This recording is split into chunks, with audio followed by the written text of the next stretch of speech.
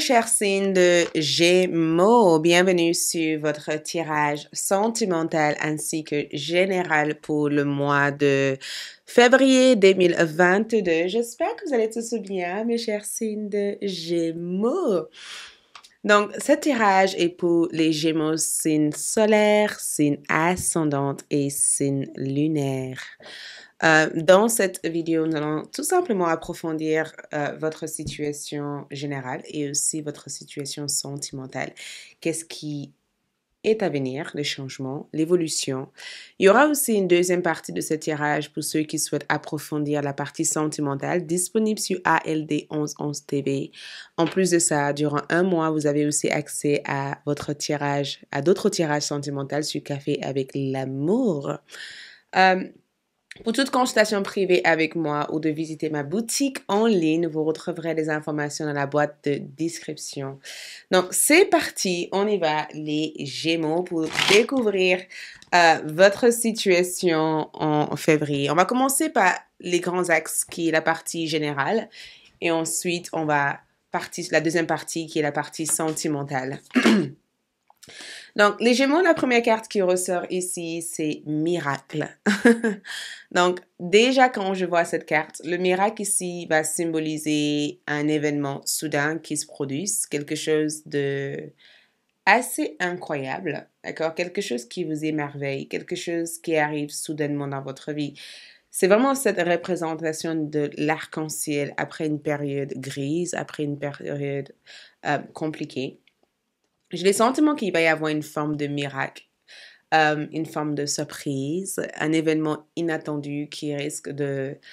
Euh, qui va apporter cet éclairage, cette ouverture, cette sérénité, d'accord, qui vous a manqué jusqu'à maintenant. Donc, si vous, vous étiez dans une période euh, d'attente, une période d'incertitude, une période de questionnement, de longue introspection, cette carte représente vraiment cette euh, bonne nouvelle, cette belle arc-en-ciel, cette belle énergie qui rentre dans votre mois. Donc, attendez-vous en tout cas à des événements assez miraculeux. Regarde la plénitude.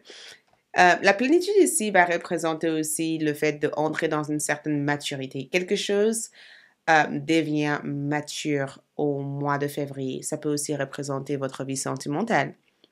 Il y a une forme de maturité. Il y a aussi une satisfaction que vous ressentez ici. C'est comme si vous digérez une histoire, vous digérez quelque chose. Euh, c'est comme si vous êtes armé, voyez, euh, par rapport aux, aux, événements et vous êtes préparé, vous êtes prêt. Et ensuite, peut-être aussi qu'au cours de sept mois, la pleine lune aussi peut être une période pour vous de, de vraiment arriver à se libérer ou de vider ou de laisser partir tout ce qui n'est plus en accord pour créer de la place pour autre chose. Mais je ressens en tout cas que vous allez vous sentir hyper heureux ou heureuse au cours du mois de février. un événement va apporter satisfaction. Un événement ici va vous remplir en tout cas de, de, joie. Mais cette fruit ici qui a l'air d'être mûri ici, c'est quelque chose qui mûrit, quelque chose qui devient exactement tel que vous aurez voulu que ça devienne. Mais ça arrive durant une période que vous attendez le mois. C'est comme si ça n'arrive pas. C'est comme si ça arrive quand vous pensez que ça n'allait pas arriver. Donc, attendez-vous en tout cas à une augmentation, une promotion ou des résultats en tout cas positifs portant sur l'évolution. voyez, de ça permet en tout cas d'aller de l'avant. voyez, c'est ce que je peux ressentir ici. Donc, la joie dans cette carte ici, les Gémeaux, écoute, cette carte a tellement beaucoup de sens tellement beaucoup de vibrations et tellement beaucoup d'énergie pour vous. Euh, la joie ici représente votre faculté, en tout cas, à libérer de tout ce qui peut être problématique, voyez, et à voir le côté positif dans chaque situation. Donc, une énergie hyper optimiste. Donc, le mois de février ici, je vous vois en tout cas recevoir des bonnes nouvelles, d'accord? Euh, De ressentir la plénitude aussi par rapport à ce que vous faites, d'accord? D'être satisfait aussi par rapport au progrès que vous allez pouvoir mettre en place et de vraiment arriver aussi à vivre chaque situation avec une certaine lâcher prise, une certaine acceptation. Comme les dauphins ici, j'ai le sentiment que vous suivez le vague, d'accord? Chaque chose qui vient, vous suivez le vague de chaque chose. Et du coup, ça permet d'équilibrer vos émotions. Euh, d'autres énergies que je vois ici sur l'aspect général, c'est l'opportunité. Donc, l'opportunité ici peut représenter aussi euh, le fait de recevoir de l'abondance sous forme d'argent. Euh, j'ai le sentiment aussi que des occasions favorables peuvent se présenter côté carrière, côté idée, côté projet, d'accord? J'ai le sentiment en tout cas de vous voir. C'est comme si vous travaillez sur un projet, vous travaillez sur une idée, vous travaillez sur quelque chose qui est porté vers une certaine plénitude. Euh, il se peut aussi que certains d'entre vous sont en train de rédiger des contrats au mois de février. Je ressens cette notion de rédiger les contrats. Le travail ici est quand même... Il y a quelque chose de positif qui est assuré dans le cadre professionnel. Donc, si vous êtes en attente d'une réponse professionnelle, en attente de, progresser par rapport à un projet. Les nouvelles ici peuvent être hyper positives en fait pour vous.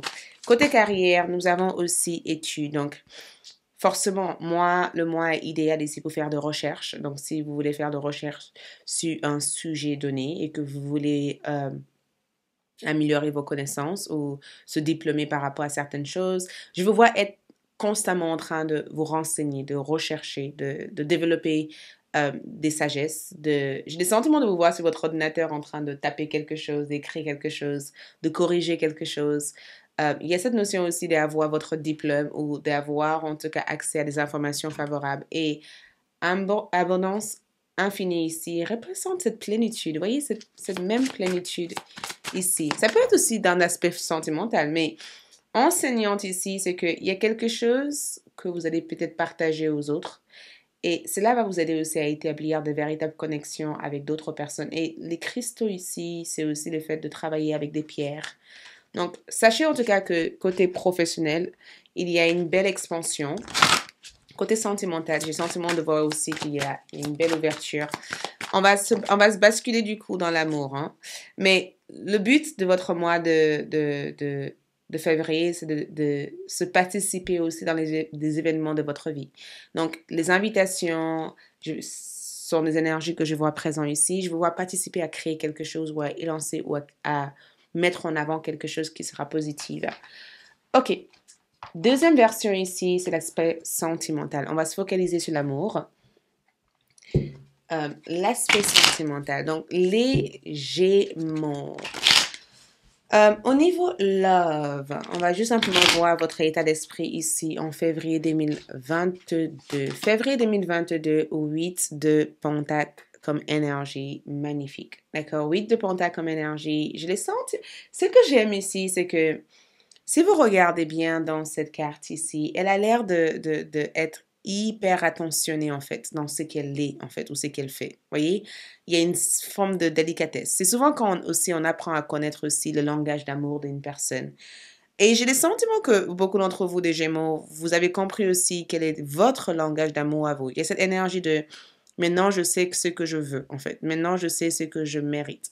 Maintenant, je sais ce que mon âme a besoin pour se sentir épanouie. Maintenant, je sais aussi que quand je ne fais pas ce que mon cœur me dit, je me perds. Vous voyez, il y a cette énergie de quand je ne fais pas ce que mon cœur me dit, je me perds. Donc, je pense qu'au niveau love, euh, j'ai le sentiment qu'il y a le travail et l'amour qui sont mélangés ici. Pas pourquoi, je sens que c'est si vous travaillez avec quelqu'un avec qui vous êtes présentement engagé avec, ou c'est si vous êtes en train d'apprendre de certaines erreurs passées. D'accord? C'est si vous êtes en train d'apprendre de certaines erreurs passées et qu'au jour d'aujourd'hui, vous mettez tous, toutes les bonnes utiles, toutes les bonnes ressources de, de, de, votre côté pour ne pas commettre ces erreurs et de pouvoir faire attention délicatement aux personnes avec qui vous vous faites confiance pour ne pas entrer dans des relations à laquelle vous avez le sentiment de, de, de, de constamment être celui qui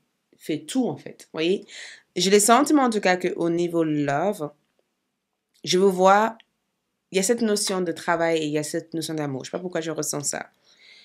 Euh, je vous vois en tout cas passer, si vous êtes en couple, je vous vois passer du temps avec votre bien-aimé. J'ai le sentiment de vous voir passer du temps avec cette personne. C'est comme si vous dédiez du temps à cette personne. C'est comme si vous avez vécu des hauts et des bas et qu'au jour d'aujourd'hui, vous voulez mettre en place des efforts pour que vous et cette personne euh, évoluent ou s'épanouissent ensemble, en fait. Vous voyez, il y a cette énergie de je veux pas qu'on se prend la tête, je veux pas qu'on on soit euh, totalement euh, loin de, de l'un et l'autre, je veux, je veux pouvoir me rapprocher de toi. Donc, il se peut que le travail est quand même assez dominant ici, il se peut que vous êtes en train de faire tellement de choses, votre, votre carrière a beaucoup plus de place l'aspect sentimental, mais le moment où vous pouvez créer du temps pour votre partenaire, vous le faites, d'accord? Et vous le faites aussi en dédiant du temps à cette personne, en investissant votre énergie du temps à cette personne. Mais le 8 de Pentacle ici, soyez sûr de vous-même, c'est que si vous voulez quelque chose, vous allez chercher une façon, une approche pratique pour pouvoir l'obtenir. Ce qui peut être aussi une opposition dans votre vie sentimentale ici, c'est le 2 d'épée comme énergie, ainsi que le 10 de bâton. L'obstacle ici, le 10 de bâton aussi, le 10 de bâton aussi ici représente cette, plusieurs casquettes. Vous voyez, c'est souvent quand on veut porter, on veut être partout et en fait on est nulle part à la fois, d'accord? Je sais pas si ça, ça peut résonner quelque chose en vous, d'accord? C'est juste, je dis pas que ça va être les événements que vous allez faire face à, mais ça peut être aussi l'opposition, c'est que vous vous sentez en tout cas être un blocage pour vous. Et le fait que vous avez eu les deux d'épée comme énergie ici, j'ai le sentiment qu'il y a une forme de blocage au niveau de votre cœur. Euh, j'ai le sentiment aussi qu'il y a quelqu'un ici à laquelle vous refusez d'entendre ou vous refusez de communiquer avec. Il y a cette refus de communication ici. C'est comme si vous faites semblant que tout va bien, mais au fond de vous, tout ne va pas si bien que ça. Vous voyez, tout ne va pas bien. Vous avez peur. Euh, ce n'est plus possible d'être constamment être celui qui est dans une grande gestion émotionnelle de la relation. Voyez? J'ai le sentiment que le blocage ici, c'est que c'est si vous prenez votre distance de quelqu'un parce que vous vous êtes rendu compte que ça ne va pas, d'accord? Ou c'est si euh, vous ignorez certains signes. Il y a quelque chose ici que l'univers cherche à vous montrer par rapport à quelqu'un.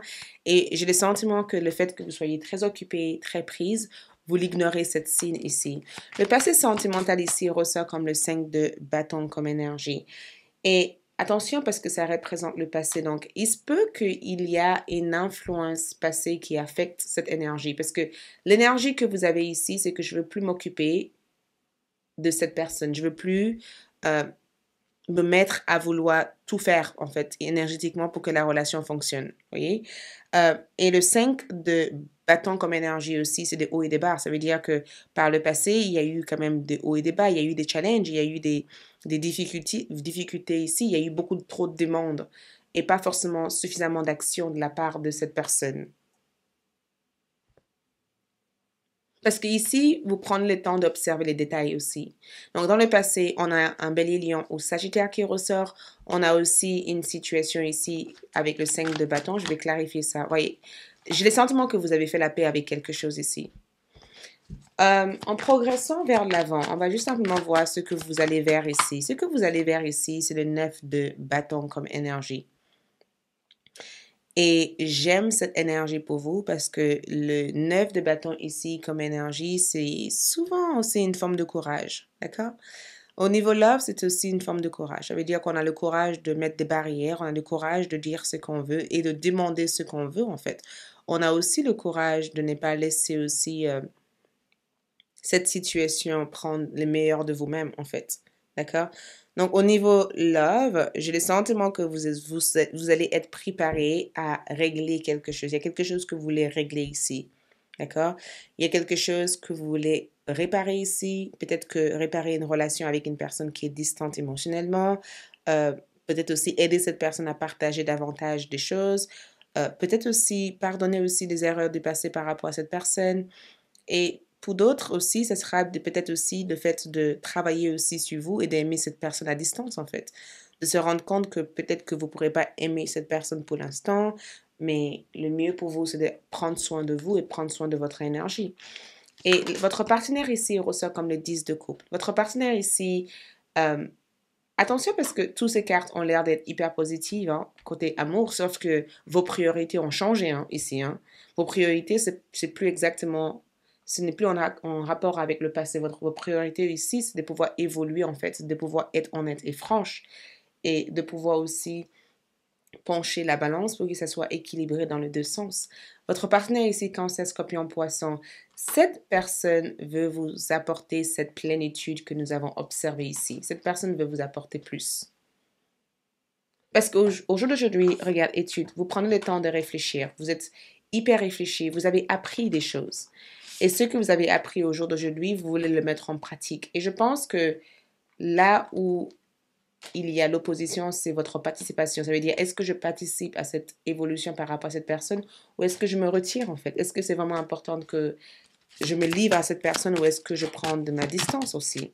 Garder la foi ici veut dire que la personne que vous aimez ici veut en retour, veut évoluer, veut y croire encore que ça peut être possible entre vous deux, veut pouvoir voir le côté positif aussi de la relation et peut-être s'ouvrir à la relation il y a cette énergie de j'espère qu'on peut se retrouver, j'espère qu'on peut se voir, j'espère qu'on peut éventuellement se parler. Voilà ce que je peux voir dans cette partie-là. Je vais approfondir ce tirage sur ALD 1111. Donc, pour ceux qui sont sur ALD, merci d'aller vers votre suite. Euh, pour d'autres, merci beaucoup. Ou sinon, si vous souhaiterez continuer le tirage, allez-y avec le lien en bas de cette vidéo. Je vous souhaite une agréable mois de février 2022. Ciao! Vous êtes en train d'éveiller votre puissance, euh, les Gémeaux, votre masculin sacré, votre féminin sacré. Vous êtes C'est incroyable parce qu'il y a des gens qui sont attirés par vous, même sans parler d'amour, en fait. Naturellement, vous éveillez un pouvoir intense. C'est un pouvoir de je sais